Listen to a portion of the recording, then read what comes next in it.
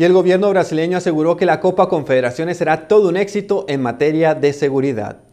Acompañados por las autoridades de Río de Janeiro, la presidenta Dilma Rousseff inauguró una central de seguridad que tendrá la misión de garantizar la tranquilidad durante la Copa Confederaciones que comienza este fin de semana.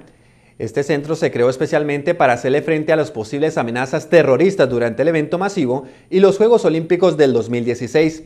Al final de la ceremonia, la mandataria afirmó que los turistas y jugadores lo único que tienen que preocuparse es de aprender a bailar samba y divertirse con el balón.